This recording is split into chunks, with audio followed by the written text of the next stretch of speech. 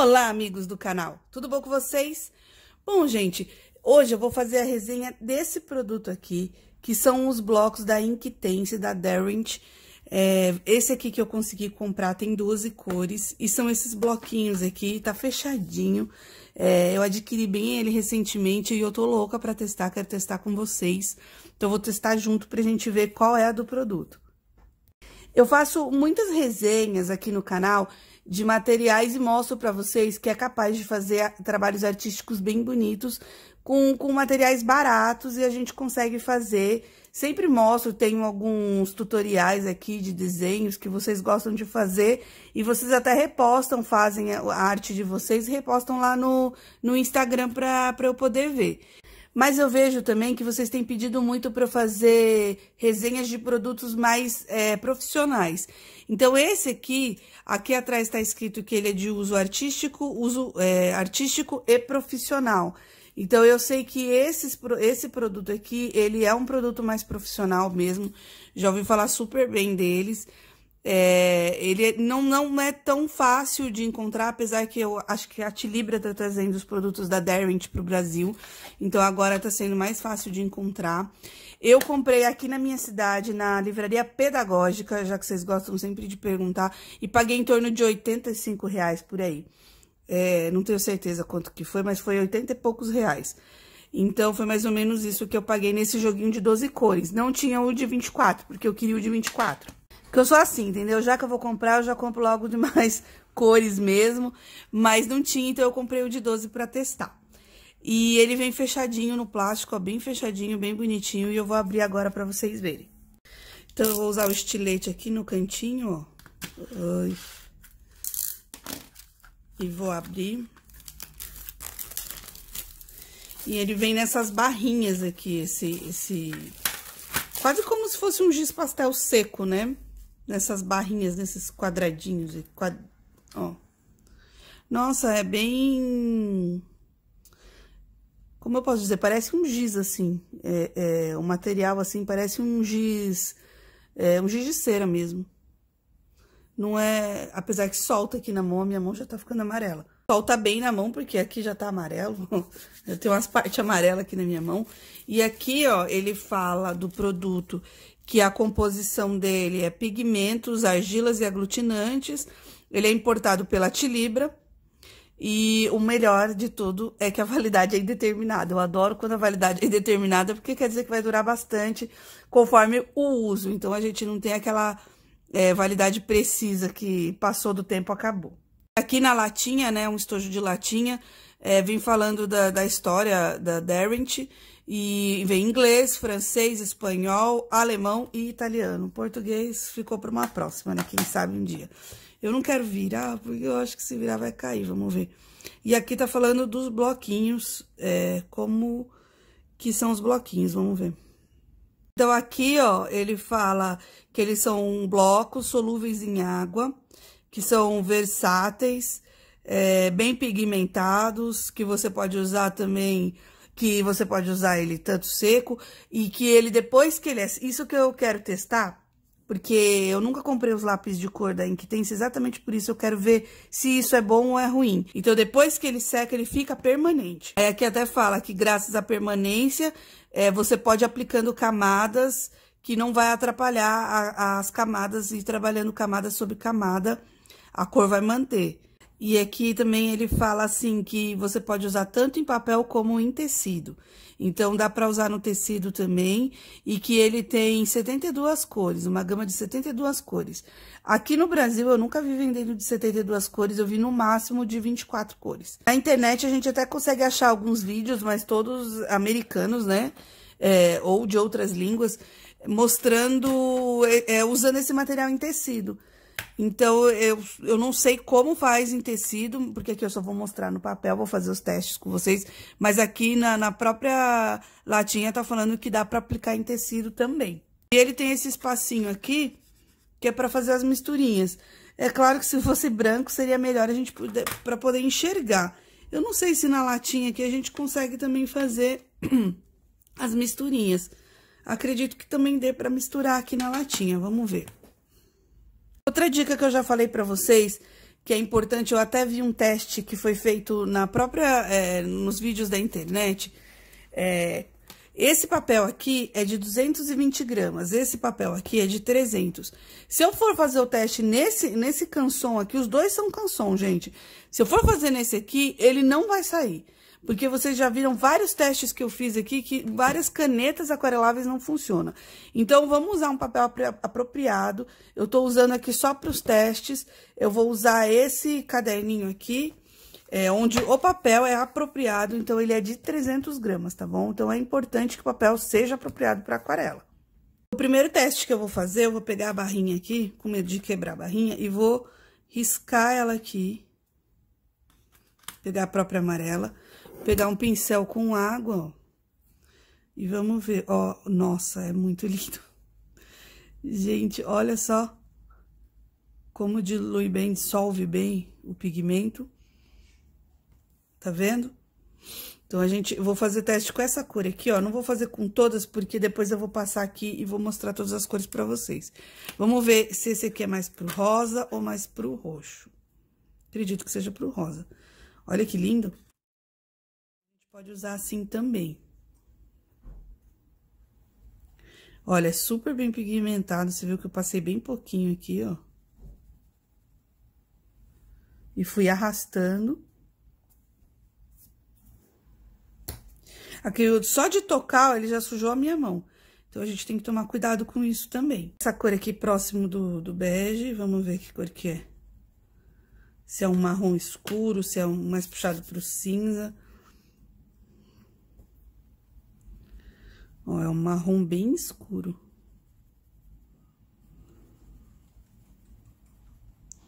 que eu percebi que aqui na latinha não vem falando...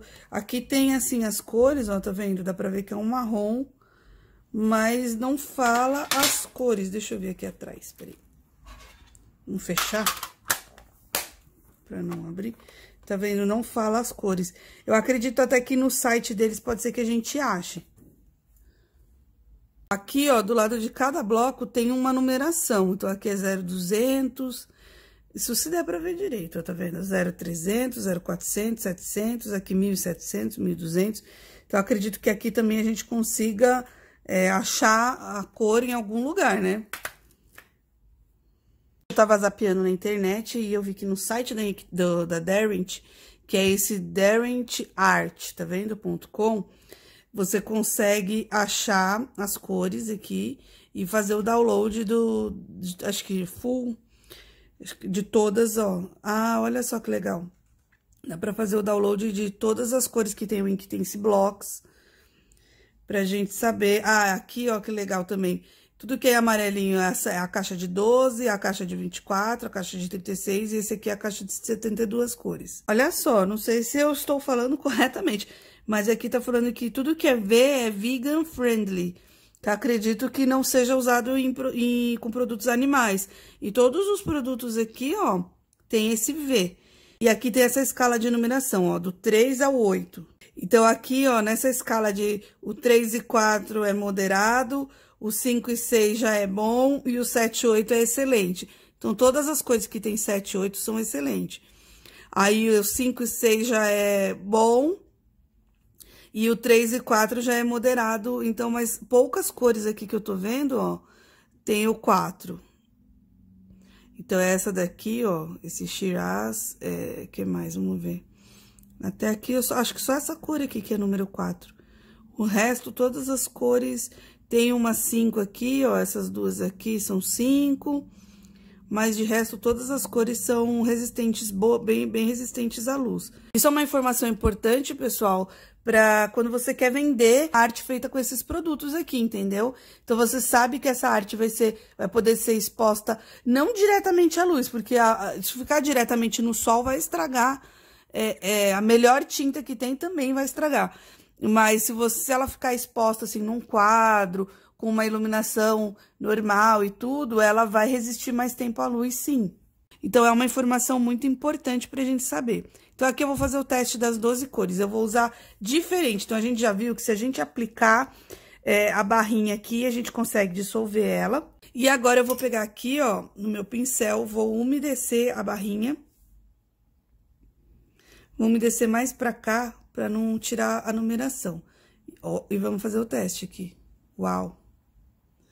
Tá vendo? Quando a gente umedece diretamente, ó, ele fica até mais forte.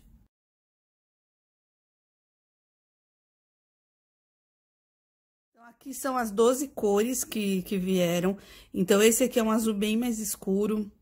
Tem três tons de verde, esse aqui é um verde bem, bem escuro mesmo, gostei desse tom de verde. Vem um beijinho, um marrom também super escuro e um preto. Então, agora aqui atrás eu vou fazer o teste para vocês da mistura. Eu vou usar essa, a latinha mesmo aqui, ó. Vou pegar um pouquinho do amarelo, colocar aqui na latinha, ó. Pegar o vermelho e vamos misturar.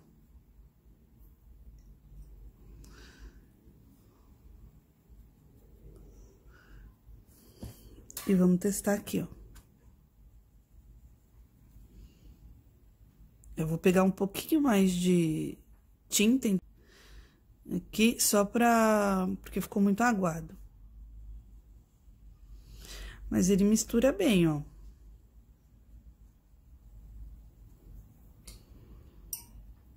Com esse tom aqui, dá pra fazer um tom de pele também, um dos, né? Tem vários tipos de tons de pele. Tem uns tons mais puxado pro bege, mais puxado pro marrom. Então, aqui a gente consegue, ó, criar até um, mais uma variação de tons de pele, ó. Com essa mistura aqui. Se a gente for fazer um rostinho, olha só. Então, ele mistura bem. É só ter um godê, ou então a gente usa a própria latinha aqui. Ou então essa parte aqui que eu não usei. Pensei em considerar ela como uma aquarela e fazer aquele teste é, de expansão para ver se ela tem uma boa expansão de tinta. Então, eu vou umedecer o papel aqui, ó. Com esse pincel que ele já tá com a pontinha úmida. E vamos pegar aqui um pouquinho de, de uma cor nova, o azul. E vamos ver como é que ele reage. Vamos aguar um pouco assim, ó.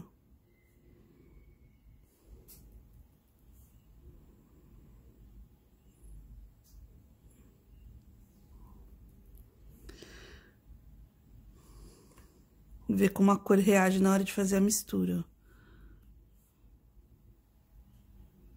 Ela não abre muito, tá vendo? Ela fica aqueles pontinhos bem pequenininho. E também eu vou misturar, é, pegar o amarelo aqui, ó. Pegar o vermelho. E vamos ver como ela, elas, se elas se misturam bem assim, ó. Se eu colocar um pinguinho d'água. Porque a cor, ela tava muito pura. Então, se eu colocar um pinguinho d'água aqui, ó, elas vão se misturando. Mas eu vou precisar da ajuda do pincel. E já que eu tô aqui, vamos ver a transparência dela. Fazer... Peraí que sujei aqui.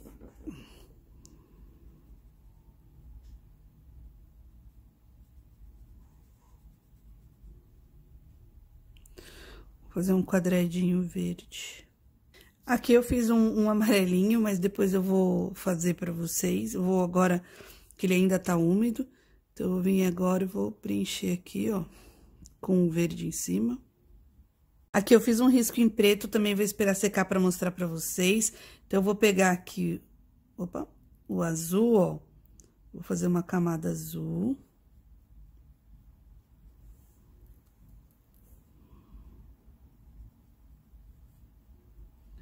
Também vou esperar secar.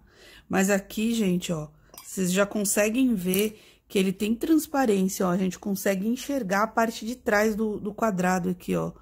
É, opa, que ainda não tá totalmente seco, enfiei a mão aqui. Mas a gente consegue enxergar a parte de trás do quadrado. É, é, sobreposta. Então, mostra que ele tem transparência. Aqui eu vou passar, ó, eu passei uma caneta preta, vou passar o amarelo aqui que geralmente é o mais é, é, opaco, né? Das cores que eu, que eu já testei. E a gente consegue ver aqui, ó, que ele tem transparência, assim. Vou usar o o verdinho também aqui, ó. Bom, então os resultados foram esse. Aqui, ó, é, quando eu apliquei o azul em cima do amarelo, foi para mostrar, além da transparência, é, essa mistura, tá vendo? Aqui a gente consegue enxergar o verde, aqui o amarelo e aqui o azul. E aqui a gente consegue enxergar é, a cor de trás, então tem transparência sim. É, e aqui em cima do preto a gente também consegue ver bem as cores, então eu achei que ele tem uma boa transparência, essa esses bloquinhos aqui. Eu vou fazer uma ilustraçãozinha. É, vou fixar o meu papel aqui com fita crepe. É o que eu já falei nos outros vídeos, quando eu é, trabalho com aquarela ou com produtos que vão a ser aquarelados, que vão ter uso de água. Então, use um papel de 300 gramas, no mínimo. Pretendo fazer um desenho simples e vou fazer aqui para vocês. Vou usar a latinha aqui para fazer as misturas. E vamos lá.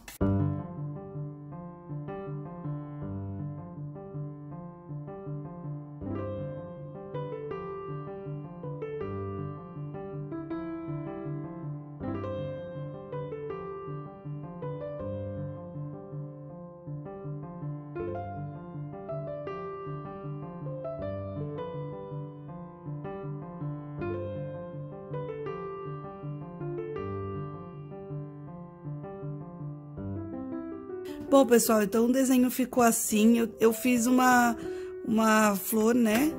Sakura, bem simples mesmo, só pra... Porque o vídeo já tava bem grande, então eu não queria que o vídeo ficasse muito pesado. É, eu gostei do material, não, assim, não foi pra mim surpreendente.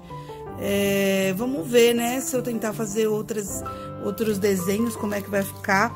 Mas é, eu achei que na hora de fazer o fundo é mais complicado de a gente conseguir homogeneizar a, a, a parte do fundo. Mas na hora de, de fazer o desenho mais pontual, aí eu achei bem legal. As misturas ele mistura super bem. É, eu achei um material interessante de trabalhar. Bom, eu espero que vocês tenham gostado desse vídeo, dessa resenha. Qualquer dúvida, deixa aí nos comentários, que na medida do possível eu vou respondendo para vocês, tá bom? É, se vocês gostaram do vídeo, dê um like, compartilhe o vídeo para quem gosta de desenhar. É, se inscrevam no canal e até o próximo vídeo. Tchau, tchau!